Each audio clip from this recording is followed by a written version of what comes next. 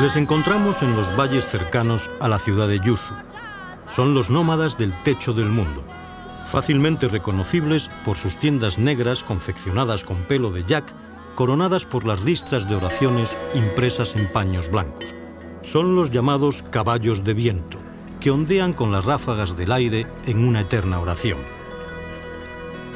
Al igual que los satan viven de los renos, los cambas dependen absolutamente de sus yaks. De ellos obtienen leche para producir mantequilla, yogur y quesos.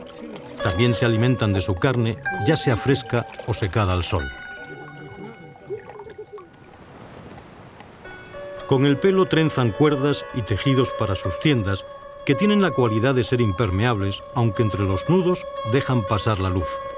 Los tendones del jack son utilizados como tensores.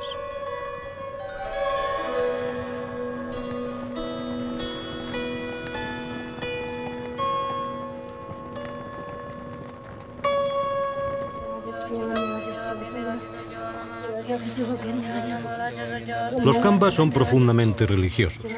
Antes de comenzar las actividades diarias, las familias se reúnen para rezar frente a un tanca sagrado, un paño con pinturas de santos y deidades y con mandalas, los mapas del cosmo budista. El peinado tradicional de las mujeres cambas se compone de 108 trenzas untadas con mantequilla de dri, la hembra del yak. El 108 es un número sagrado que simboliza la deidad budista Sakti, la madre del mundo. Las puntas de las trenzas se unen entre sí.